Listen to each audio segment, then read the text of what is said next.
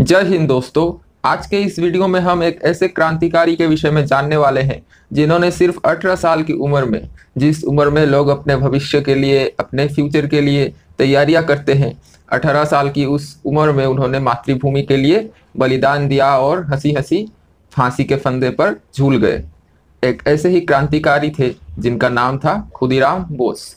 आज के इस वीडियो में हम लोग खुदीराम बोस के बारे में ही जानने वाले हैं। तो चलिए देरी ना करते हुए हम हमारा आज का ये वीडियो शुरू करते हैं। तो देखिए one of the youngest leaders of the independence movement Khudiram Bose is highly regarded for his fearless spirit he is mostly remembered for his to assassinate the British जज magistrate Douglas Kings which ultimately led to him being sentenced to death at the young age of 18 सिर्फ़ 18 साल की उम्र में उन्होंने मातृभूमि के लिए कुर्बानी दी अपनी और जो ब्रिटिश जज डॉगलस किंग्सफोर्ड, जिसकी हत्या के लिए उन्होंने प्रयास किया था, हालाँकि वे विफल रहे थे अपने इस प्रयास में, लेकिन इसके चलते ब्रिटिश सरकार ने उनको फांसी की सज़ा सुनाई थी और सिर्फ़ 18 साल की उम्र में वे देश के लिए शहीद हुए थे।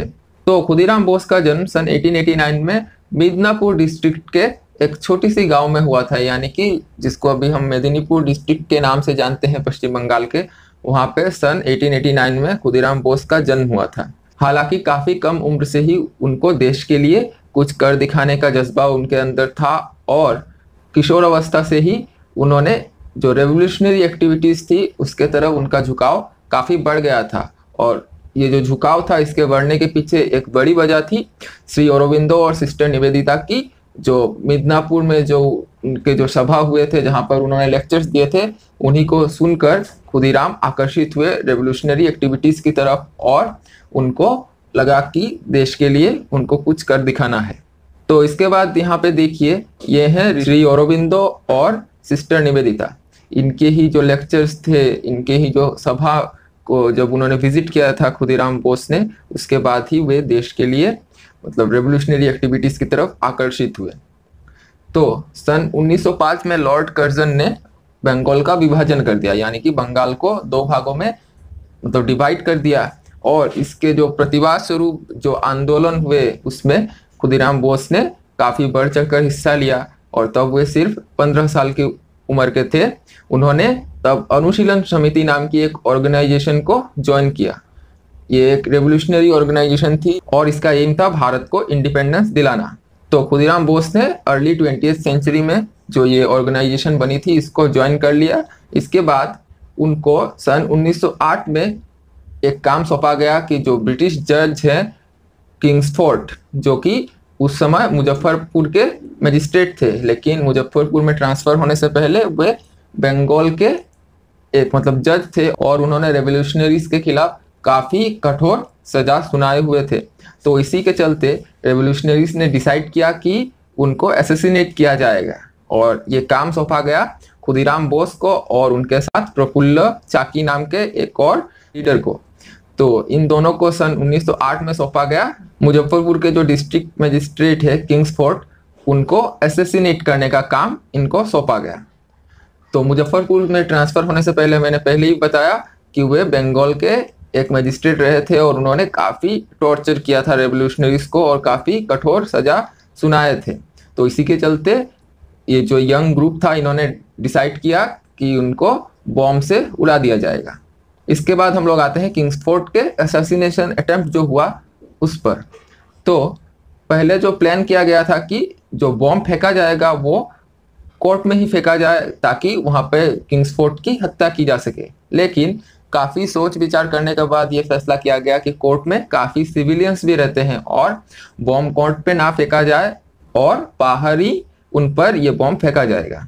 डेट थी अप्रैल 30 1908 तो उसी दिन खुदीराम ने ये जो बॉम्ब था, वो उसी कैरेज पर फेंक दिया जो मतलब उनको लगा कि किंग्सफोर्ट को लेकर जा रही थी। लेकिन दुर्भाग्यवश उस दिन और एक वेरिस्टर थे, प्रिंजल कैनेडी उनकी वाइफ और डॉटर उस कैरेज पर थे और ये जो बॉम्ब फेंका गया, उसमें किंग्सफोर्ड तो नहीं थे उस कैरेज में, लेकिन इन दोनों की मृत्यु हो गई। बोस को पकड़ा गया वाइनी नाम के एक रेलवे स्टेशन से, जहाँ पर वे 25 माइल मतलब पैदल चलकर पहुँचे थे जहाँ पे। दूसरी तरफ़ चाकी ने खुद को मतलब खुद ही आत्महत्या कर ली ताकि वो ब्रिटिश सरकार के हाथों ना लग सके। तो पकड़े जाने के बाद देखिए यहाँ पे एक पिक्चर है खुदीराम बोस की। आप देख ही सकते हैं उनकी उम्र कितनी कम थी यहाँ पे और ब्रिटिश सरकार की जो पुलिस है, पुलिस ने उनको पकड़ रखा है इस पिक्चर में।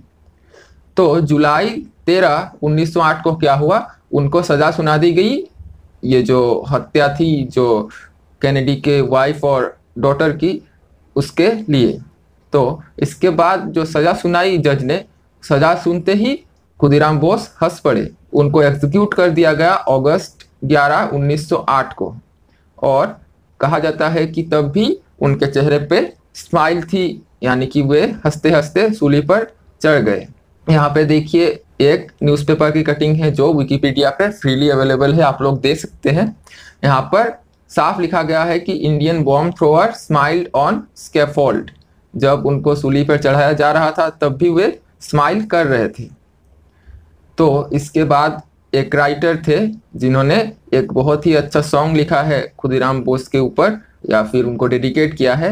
इसका नाम है एक बार विदाई देमा घुरे आशी, जिसको इंग्लिश में हम लोग कहें bid me good bye mother जो राइटर थे उनका नाम था पीताम्बर दास। इन्होंने ये सॉन्ग लिखा है और ये सॉन्ग उन्होंने खुदीराम बोस को ही डेडिकेट किया है। तो अगर आप लोग सुनना चाहे ये सॉन्ग भी यूट्यूब पे अवेलेबल है फ्रीली आप लोग सुन सकते हैं। तो आज के इस वीडियो में इतना ही। मिलते हैं अगले वीडियो में। जय हिंद।